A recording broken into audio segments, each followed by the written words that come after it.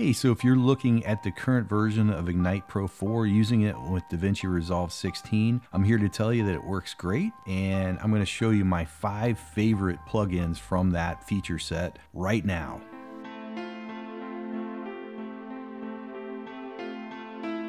Yeah, so I'm going to jump right into this. I'm going to show you the Leave Color plugin. I'm going to drag and drop that right on the clip.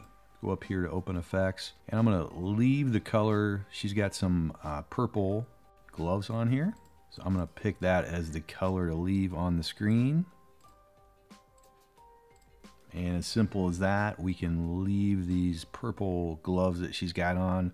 We can pick any color that we want and Ignite Pro will automatically track through that and give us the footage that we want. Obviously Resolve can do this in the color page, but it's a lot more work than just dragging and dropping and picking a color on the screen. Uh, so that's really cool. That's number one for me. Okay, number two, I'm gonna go into showing you the extrusion plugin. And I know a lot of people want this for doing logo work and things like that. And so let's go ahead and take a look at using a Resolve logo here. Obviously, all rights are owned by Blackmagic for this logo. Not trying to take any credit here. And so if we turn this on, so we have an extrusion, I've already applied some settings here, but we can just easily rotate the, the logo here, X, Y, and Z, and we get that nice extrusion. And it's just using the sampling from the edges. We can change the depth of this really easily.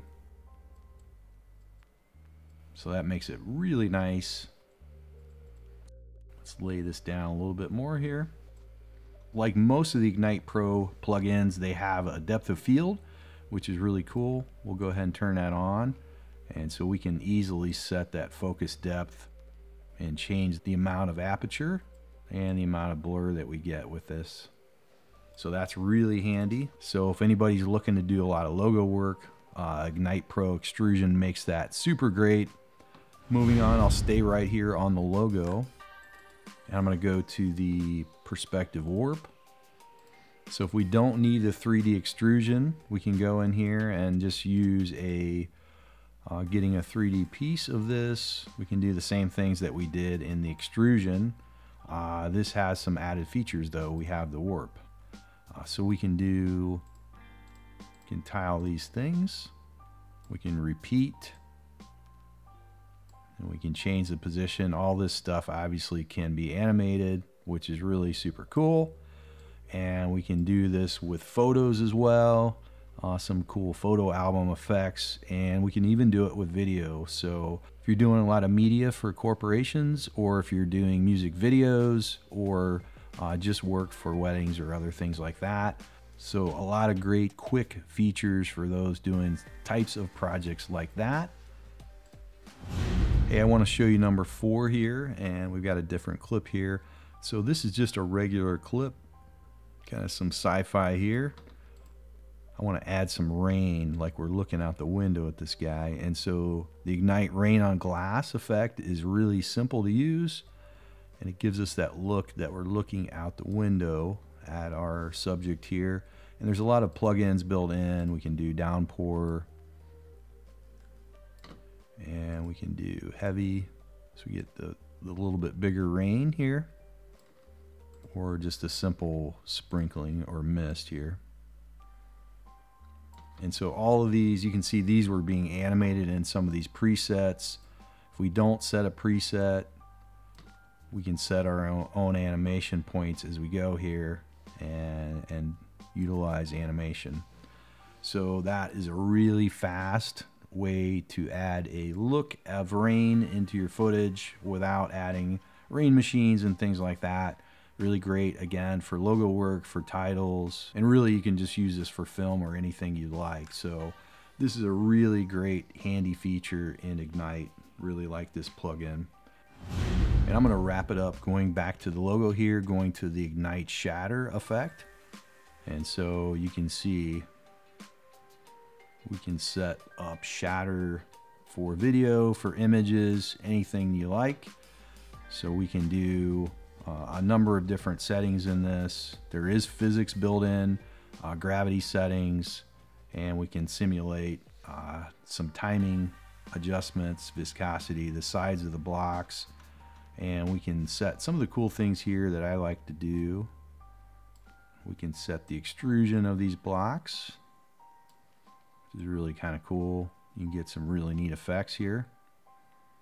And it's really fast. It, uh, this isn't this computer that I'm working on to do these uh, videos for you guys uh, is not that fast.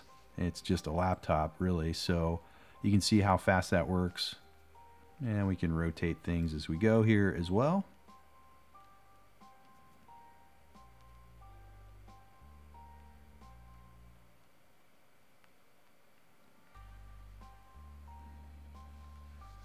Yeah, so that might be something you want to look at if you're doing a lot of logo work as well, corporate work. Uh, that has a lot of great uses, really like that. And so you can see in here uh, the Ignite package gets loaded right into uh, the effects library under OFX. And so there's a whole bunch of things in here. And I previously produced a video on lightning, which was really great. That's another one of my favorites. There is all kinds of things in here, and most of these plugins work just fine. Haven't had any issues. Yeah, so you can get the Ignite Pro plugin set from fxhome.com, and it's kind of cool.